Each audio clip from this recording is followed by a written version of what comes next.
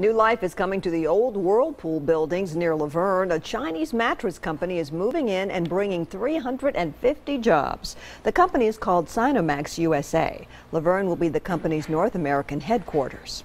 News Channel 5's Mark Bellinger in the newsroom with a look at what the company makes. Mark. That's right. They make mattresses from smart smartphone and that foam, smart foam, and they also make pillows from smart foam, like this pillow right here.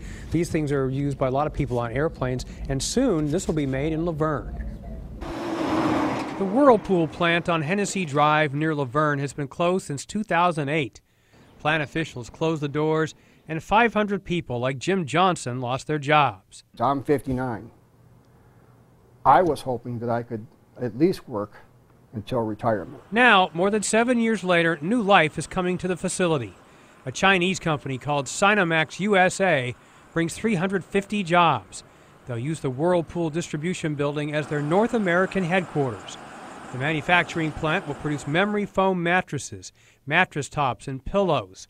Sinomax officials say they chose the Nashville area over several American cities. It is by no accident that we're opening our plant here, as many American companies look outside the U.S. for their manufacturing needs.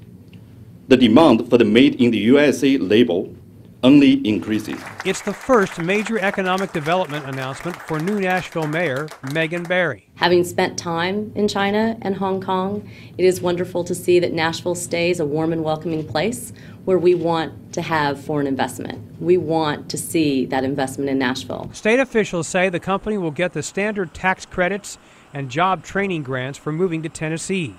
It's the largest jobs commitment from a Chinese company ever in Tennessee. Even in China, people know about Music City USA. My brother lives in Beijing, who is a huge country music fan. I told him yesterday I was coming down, coming here, and he was really excited but a little jealous. Whirlpool may be gone, but may soon be forgotten. Sinomax USA will be up and running beginning in June of next year.